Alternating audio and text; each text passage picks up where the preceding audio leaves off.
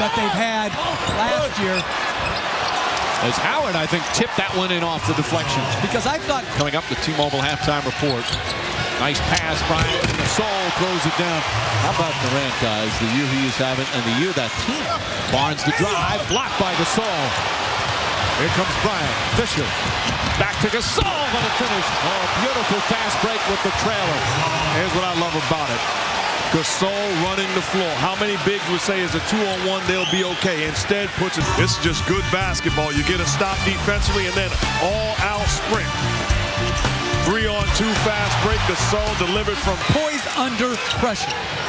Who can play hard and smart as Gasol does a great job on his cut. As we all know, is your greatest strength can sometimes be your greatest weakness. Gasol gets it to go. Gasol now with 12 points. Barnes. Bryant wants to take him inside. Beautiful pass to Gasol. There's Kobe Bryant with another assist. Spins, gets inside. Layup. Won't go. Gasol's tip is good with the left hand. Again, great play